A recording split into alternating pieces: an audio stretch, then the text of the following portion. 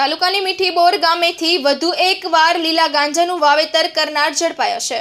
છોટાઉદેપુર જિલ્લા એસઓજી પોલીસે બાતમીના આધારે મીઠીબોર ગામે રેડ કરતા મીઠીબોર ગામના દ્રોણફળિયા વિસ્તારમાં છગન રંગલા નાયકના ખેતરમાં મકાનના પાકની સાથે વચ્ચે વચ્ચે લીલા ગાંજાનું વાવેતર કરવામાં આવ્યું હોવાનું સામે આવ્યું છે. પોલીસે તમામ છોતેર લીલા ગાંજાના છોડ ઉખેડી જપ્ત કર્યા છે. જેનું વજન છાસઠ પોઈન્ટ ચારસો ચાલીસ કિલોગ્રામ હતું અને તેની કિંમત છ લાખ ચોસઠ હજાર ચારસો છે.